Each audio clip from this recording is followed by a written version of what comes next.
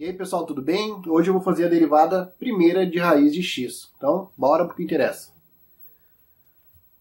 Então nós vamos aplicar essa regra que eu coloquei aqui em cima, que é a derivada de uma função potência, a derivada primeira, o f' de x, é nu na n-1 vezes o'.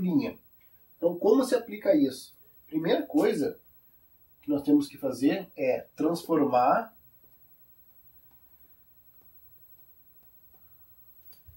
raiz em potência.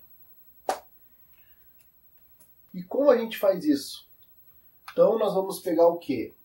Dois números. O 1 que está aqui no x, e como essa raiz é quadrada, o índice é 2. Então, como nós fizemos essa transformação? Nós colocamos f de x, colocamos x aqui, o 1 que antes estava invisível, mas agora nós vamos utilizar ele, e o índice, que era 2, esse cara aqui, ele passa a vir para baixo do 1, ou seja, o expoente de x fica sendo 1 meio e não apenas 1, como era antes. Transformei em raiz quadrada de x elevado a 1 a x elevado a 1 sobre 2. Então, segundo passo, aplicar a regra. Essa regrinha que eu coloquei aqui em cima. Bem, como nós vamos aplicar ela? Pensando que isso aqui é uma função potência de u na n. Então, olhando para essa função, nós conseguimos definir que o meu x é u e meu 1 meio é meu n.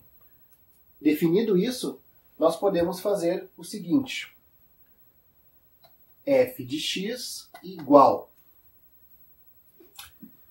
Como aqui, nós, como aqui nas, na regra nós temos que colocar o n multiplicando 1, e nós sabemos que o n é 1 sobre 2, então nós vamos colocar aqui 1 meio que multiplica x. Vamos copiar o n lá em cima, que é 1 meio, e vamos subtrair uma unidade de n. Então, nós vamos colocar aqui menos 1, subtrair uma unidade de n. E ainda vamos multiplicar pela derivada primeira de u. Aqui é u, aqui é u, que é uma função derivável, né? Então, a derivada primeira de x é 1. Então, não é usual utilizar esse 1 aqui. Se for uma função diferente, entre parênteses, um polinômio, nós vamos ter que colocar a derivada de u ao lado, então a derivada de x é 1. Então eu vou apagar aqui.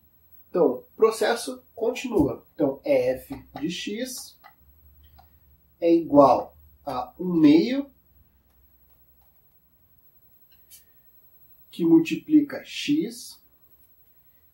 E este cara aqui nós podemos resolver da seguinte forma. O que está ali? 1 meio e menos 1.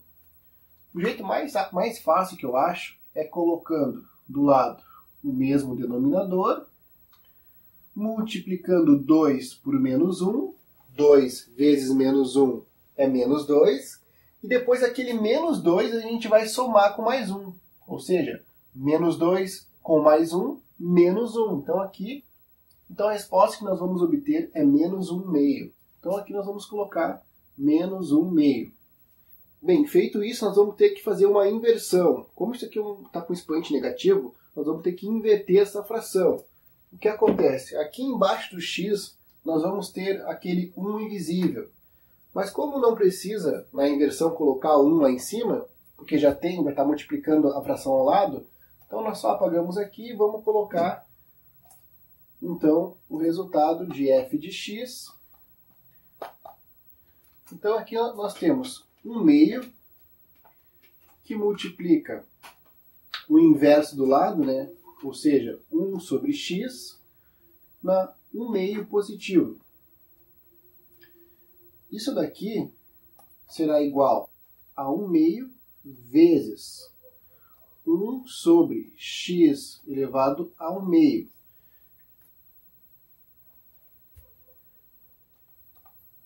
Então, multiplicando ali o de cima pelo de cima, o de baixo pelo de baixo, nós vamos ter 1 sobre 2 e vamos retornar isso daqui para a forma de raiz.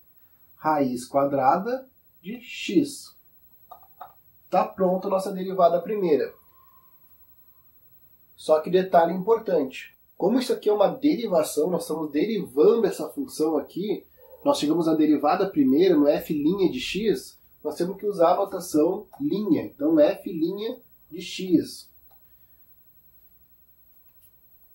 E a nossa resposta fica sendo f' de x, a derivada primeira daquela função, é igual a 1 sobre 2 raiz de x. Está aqui a nossa resposta, beleza?